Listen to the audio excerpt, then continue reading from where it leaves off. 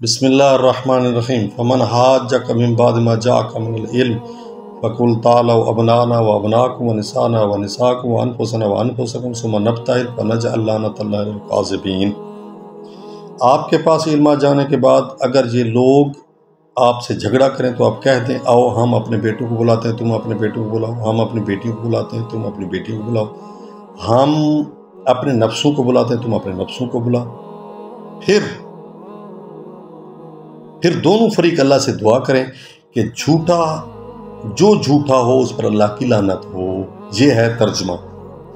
अब इसके मतलब क्या है? पहला मतलब ये है जिस पर इत्तेफाक है कि उधर से जो है वो वफद आया और इधर से पाँच नफूस गए।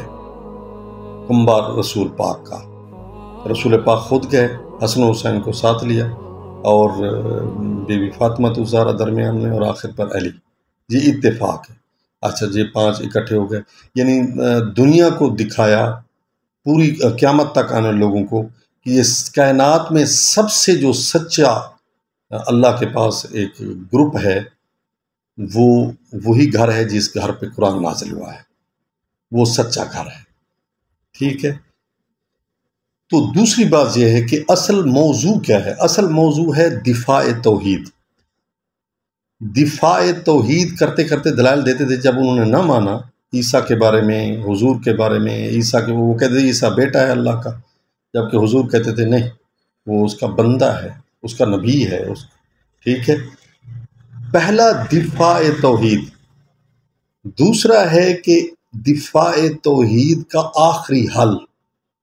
आप किसी दुश्मन से दिफा, तोहीद के बारे में डिस्कस कर रहे हैं तो एंड पर यह है कि अगर वो नहीं मानता तो आप कह सकते हैं कि हम मुबाहला करें। लेकिन कभी भी ऐसा नहीं हुआ कि हमने कभी मुबा, मुबाहला का मतलब है कि गिड़गिड़ा कर दुआ मांगना, किसी झूठे के खिलाफ बददुआ करने के लिए गिड़गिड़ाना, इसको कहते हैं मुबाहला। तो मुबाहला हुआ। फिर वो ईसाई भाप गए। उन्होंने कहा, जी, वो हस्तियाँ आ रही हैं कि अगर ये पहाड़ को इशारा करे तो पहाड़ भी अपनी जगह अल्लाह के हुक्म से पहाड़ छोड़ देगा। लिहाजा इनसे ना लड़ना, ना मुकाबला करना, वरना क्यामत तक तुम्हारी नस्ल भी ख़त्म हो जाएगी।